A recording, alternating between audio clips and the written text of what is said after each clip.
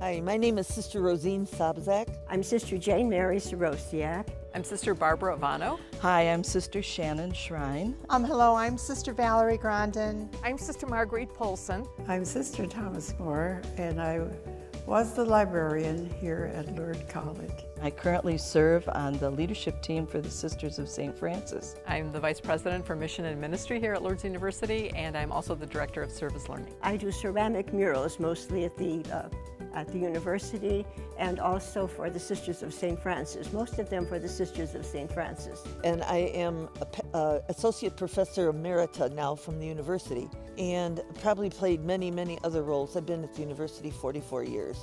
That's dating me. I became a Sister of St. Francis after graduating from high school in 1962. I came here to Sylvania in the mid-1990s. In 1965. 1958. The students used to comment about walking, coming on this campus, driving in, and it was filled with peace. You could feel it here.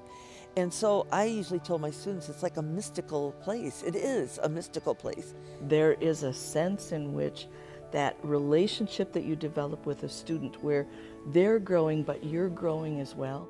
So as, as they're here, the, the goal is to help them realize, as I often say to them, when you entered Lourdes, you changed the face of this community. The one thing I asked the students almost every year was, uh, why did you choose Lourdes? Well, they chose a, a small university and all that.